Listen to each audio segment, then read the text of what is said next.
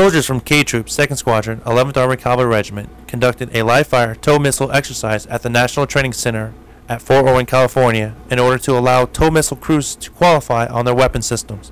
The tube launch optically tracked wire command missile is the primary anti tank weapon used by the infantry.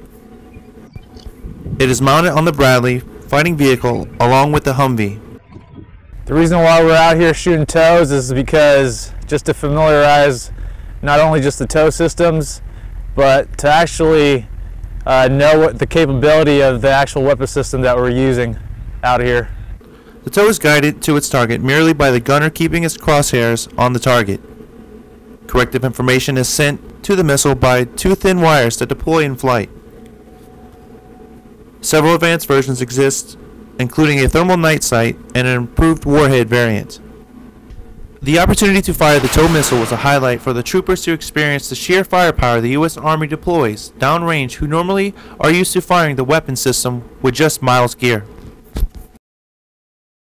Out here in the box today, shooting the uh, tow system. Uh, tell you a little bit about it.